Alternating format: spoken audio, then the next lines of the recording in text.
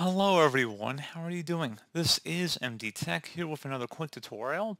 In today's tutorial, I'm going to show you how to resolve if you're having an issue with your printer that says that the printer driver package cannot be installed. So this error may be common on Epson branded printers, but can also occur on other brand names as well, such as Canon, Brother, HP, Xerox, for example. So pretty straightforward process, guys, and without further ado, let's go ahead and jump straight into it. So first thing I'd recommend doing would be to open up the search menu and search for services. Best match should come back with services. Go ahead and open that up. And you want to go and locate the print spooler service and double click on it. If service status is running, go ahead and stop it. And then you want to go ahead and start the device. So stop it and start it again. And set startup type to automatic. And then you would select apply and OK to save the change. Also consider restarting your printer and your computer as well, so restart both devices there. Something else I want to take a look at would be opening up the search menu.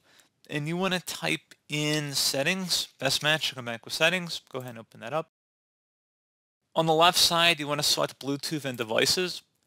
And then you want to select your printer device from the list. So where it says printers and scanners, go ahead and open that up. And then select the printer you're having the problem with here and then you're going to select where it says printer properties and then select the ports tab.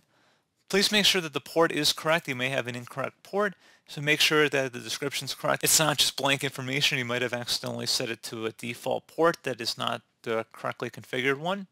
So definitely something I would take a look at there. And then also, if there are any drivers available for your printer online through your manufacturer, I'd recommend downloading and installing them as well. So again, it's something else you can take a look at. And then you can also go underneath find a setting and type in troubleshoot. Best match should say troubleshoot settings. Go ahead and open that up. And then on the right side, you want to select other troubleshooters. And then underneath most frequent, select the printer troubleshooter and then the run button that corresponds to it. And then hopefully again that should have been able to resolve the problem with just power cycling your printer and your computer as well. So let's just go ahead and restart our device here.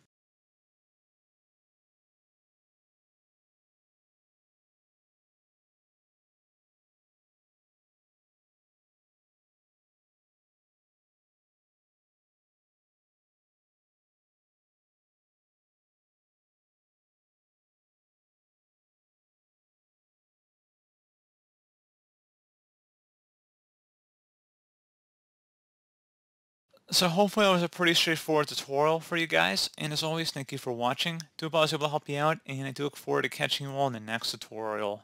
Goodbye.